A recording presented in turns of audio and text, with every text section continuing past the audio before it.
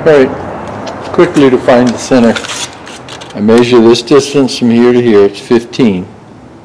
Okay, so that would make it seven and a half. So right, oops, slid on me. 15, seven and a half would be right there. Now this, I know this is gonna be cut out, so I can make my mark a little thicker. I'm gonna find the center this way, and it's six, so it would be three.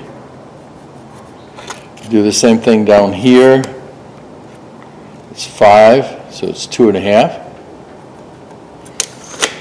So I can take and lay a line from there to there, but all I need is the center point. If you notice, it's not quite there. So right there's my center. And it intersects with this line right here, so that's my center. That's where I'm going to put my bit to start. All right, so that'll be zero, zero, zero. Zero this way, zero this way, and zero this way. All right? And when I laid it out, it's laid out this way in relationship to the machine. So I've got to mount it that way. That's the next step. All right, what I did before, if you remember, is I put a mark there to find the center from here to here. So I've got the center in this direction. What I'm trying to do is align this ellipse so it's not twisted like this. So I've got another mark in the center down here. So I'm going to run the x-axis that way, and then I can move this left and up and down, if you will, so it works. It's up and down on your screen, it's not up and down here. So I'll move it this way, which is X to the left. I'm on slow, so I'll kick it up to high.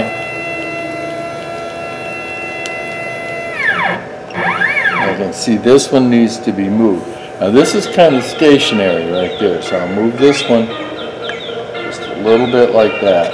Now I'll capture it in place by putting a board across here.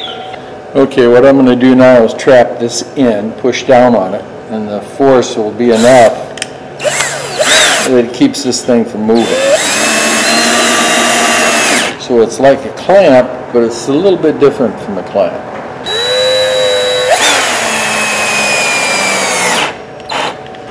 I don't know whether you can see it or not, but it raised it up on this end because it's pinching it in place. Now I'll add another one across here.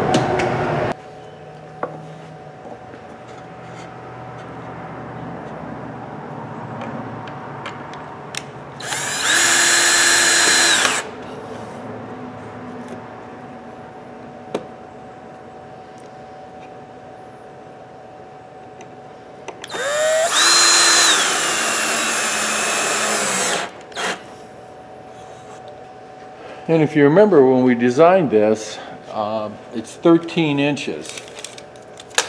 So I need six and a half before I hit this.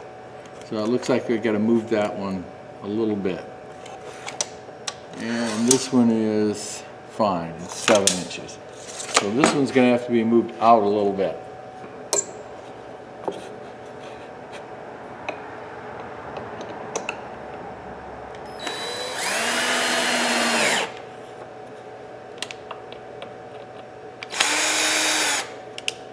All right, it's still trapped in place, and now I measure it again to make sure that I've got six and a half, and I do, and that gives me enough clearance for the spindle as well.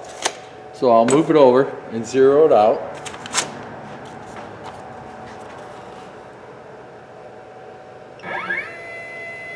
Okay, right about there center. Well, you can see the X from there. So I've got to slow it down. All right, that's pretty close to center. Now I'm going to use the paper to find the zero. Keep in mind you move it, you keep coming down slowly until it traps like that, so that's zero. And I said I'd show you how to do this, so let me move this. So I've got it trapped, so what I'm going to do is go, see it right here? Zero, X, Y, and Z okay, and they all go to zero. So that's my zero, zero reference point. And I'm going to bring it up so I can get my paper out of the way, obviously. you want to get it off the material so you can start your spindle as well. So next, start the spindle. Before I do that though, I'm going to look at the program. Loon Oval, 14 by 6, remember? Tells when it was created. There you go, next. I'm not going to use virtual zero because this has been plain nice and flat.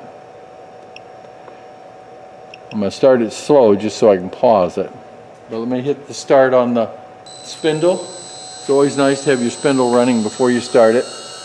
And the spindle's a lot quieter than routers. That's one of the reasons I went to spindles. They also last a lot longer than your router does. And it's not that much more money. It's a little bit more money, but when you consider how quick routers wear out, because routers are, are not designed to be used like this could take an hour or two hours. Routers aren't really designed to be ran that often.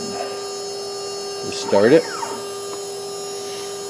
It waits about eight seconds and that's for your spindle to get up to speed because it's designed to send the information out on that. Alright, there it goes. I'll pull this out of the way.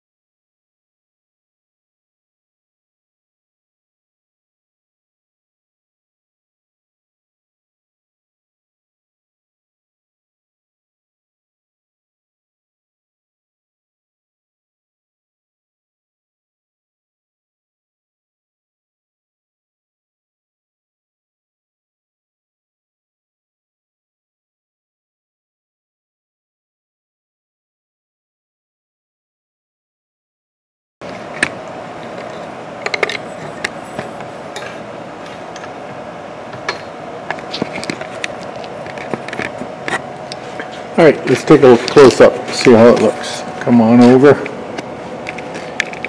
Yeah, I think you can see it. See the loon here? It's the head case. There's trees over here and trees over there. See the trees?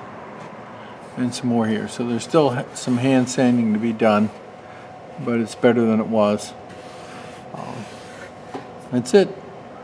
I think I need a new bit. I think that's one of the reasons it was uh, leaving so many fringes because that one's carved quite a few things. So we'll try it again with another one, but it turned out pretty good. So remember, have fun with your CNC.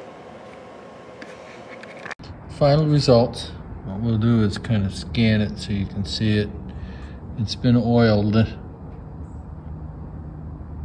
tung oil and then it'll be varnished after that dries and soaks into the wood. So you can see it. There it is. Like I said many times.